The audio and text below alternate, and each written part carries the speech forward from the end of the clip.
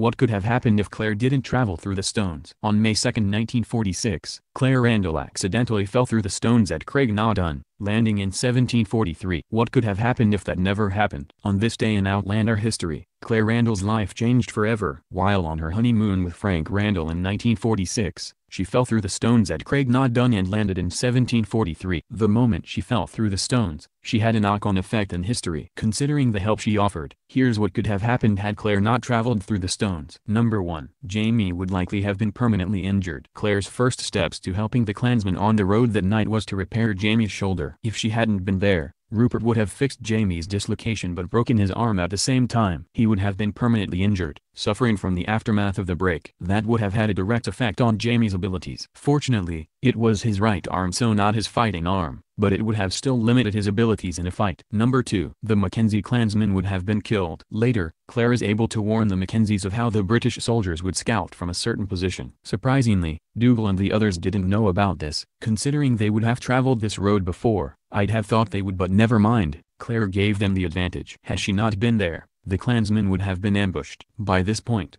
Jamie would have had a broken arm. He wouldn't have been able to fight as well as he could with a dislocated shoulder. There's also a chance others would have been killed in the battle. Claire potentially saved everyone's lives. Even if they weren't killed in the battle, they could have died in the aftermath. Claire helped to heal Jamie's gunshot wound and it would have likely festered along the way otherwise. May 2nd was a fateful day for Claire Randall. It was the day that would push Claire into Jamie's life saving him in the process. What do you think could have happened had Claire not fallen through the stones? Was it always fate for Claire and Jamie to meet? Share your thoughts in the comments below.